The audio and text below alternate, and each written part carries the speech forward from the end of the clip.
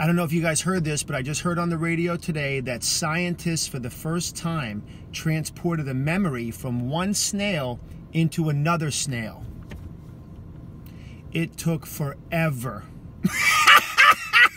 it took forever. Fuck.